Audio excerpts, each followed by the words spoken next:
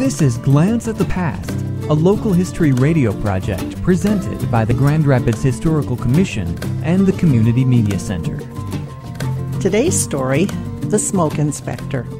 We tend to think of air pollution as a current dilemma, but in the early 1900s, the nation's cities, including Grand Rapids, experienced rapid industrialization, which led to an increased use of coal for fuel.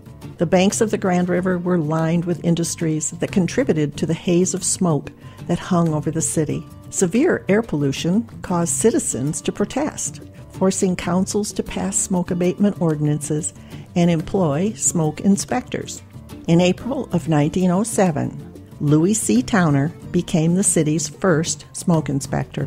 When Towner began, he worked to educate businesses by showing them how to reduce costs while burning coal more efficiently, thus cutting down on smoke, soot, and cinders.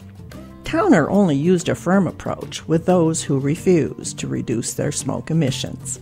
His office was on the first floor of City Hall, but he maintained a perch in the City Hall tower. The clock was housed on the first floor of the tower, and a metal ladder reached to the top of the tower where he had built a platform overlooking the city.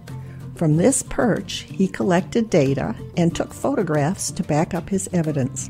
Through Towner's influence, the International Association for the Prevention of Smoke was founded. It's now known as the Air Waste Management Association, and in 2007, it celebrated 100 years of environmental stewardship. For more information about Grand Rapids history, visit the Grand Rapids Historical Commission website at historygrandrapids.org.